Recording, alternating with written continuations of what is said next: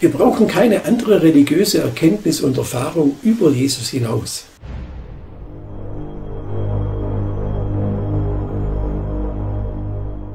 Die Hauptgefahr, um die es dabei geht, ist die Meinung, in Jesus Christus nicht alles zu haben. Und deshalb lautet das Thema der heutigen Predigt auch Jesus allein. Jesus allein, ganz einfach. Das ist die klare Botschaft der Bibel. Alles in Jesus, Jesus allein. Wo jemand der Meinung ist, auch andere Religionen könnten zu Gott, zur Heil, zum Heil, zur Erlösung führen. Auch aus anderen Religionen könnte Bereicherndes für den christlichen Glauben gekommen. Liebe Geschwister, der betreibt einen Totalverrat am christlichen Glauben, der betreibt einen Totalverrat an Jesus, am Sohn Gottes und an dem Heil, das er für uns vollbracht hat. Die Vorstellung, anderes zu brauchen als Jesus, gefährdete auch damals vor 2000 Jahren schon die Einheit der Gemeinde. Die Gnosis war damals eines der zentralen Probleme und einer der großen Angriffe auf die Christenheit. Eine falsche Lehre, die diesen Namen hatte. Und dieses Problem besteht seit einigen Jahren auch in unserer Zeit wieder bei vielen Menschen. Man wird sagen müssen Jahrzehnten und mehr. Man kommt mit allen möglichen Arten angeblicher Erkenntnis, angeblichen Geheimwissens, um eine Bewusstseinserweiterung der Menschen herbeizuführen.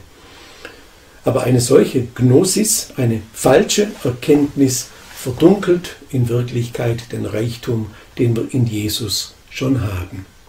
Da sagt uns Vers 3, in ihm, nämlich in Christus, liegen verborgen alle Schätze der Weisheit und der Erkenntnis.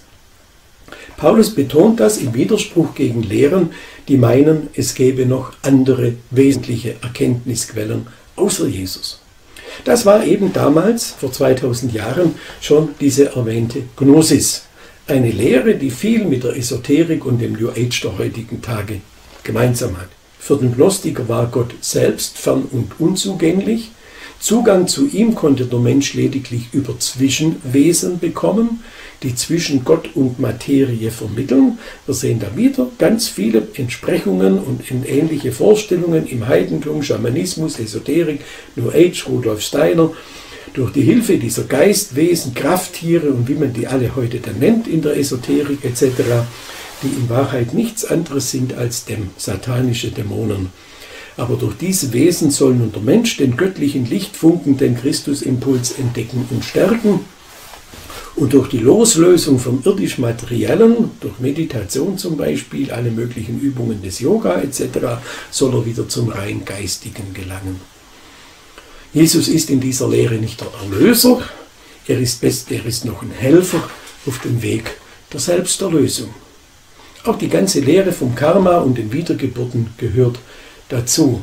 Und wir sehen da auch, liebe Geschwister, die Nähe etwa zur katholischen Kirche, in die viele dieser heidnischen Gedanken eingedrungen sind. Ablasshandel und so weiter, gute Werke. Man muss jetzt gucken, dass man durch bestimmte Dinge wieder den Zugang zu Gott selber schafft.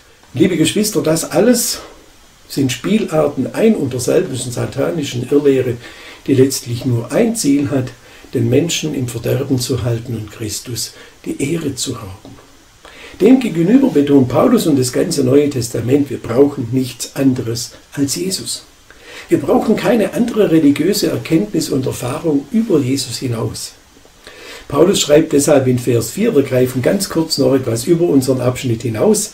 Ich sage das in aller Deutlichkeit, damit ihr euch von niemandem durch wohlklingende Worte betrügen lasst. Und Vers 8 und 9, lasst euch von keiner Ideologie oder irgendeinem leeren Gerede einfangen All das haben sich Menschen ausgedacht, aber hinter ihren Gedanken stehen dunkle, dämonische Mächte und nicht Christus. Paulus bringt es knallhart, glasklar auf den Punkt. Es sind nicht einfach nur irregeleitete menschliche Gedanken. Hinter diesen irregeleiteten Gedanken stehen Mächte, die diese Irreführung bewusst herbeiführen. Dunkle, dämonische Mächte. Darauf kommen wir im Detail in der späteren Predigt. Heute bleiben wir ganz beim Widerspruch des Paulus gegen diese falsche Lehre. Nein, nein, dreimal nein, brauchen wir nicht.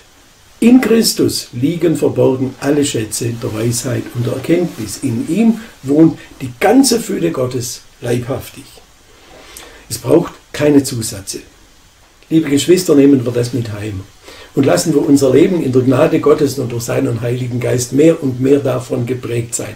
In Jesus und in Jesus allein liegen alle Schätze der Weisheit und der Erkenntnis Gottes. In ihm haben wir alles. Und diesen Reichtum, den wir in Jesus haben, den dürfen wir in der Kraft Gottes und seines Heiligen Geistes den Menschen um uns herum auch glaubhaft vorleben.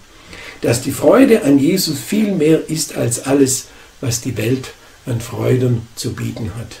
Und auch die Ruhe, der Friede, die Gelassenheit, die in Jesus auch mitten in diesen Tagen in uns sein kann und aus uns hoffentlich glaubhaft auch immer wieder herausströmt in die Welt hinein.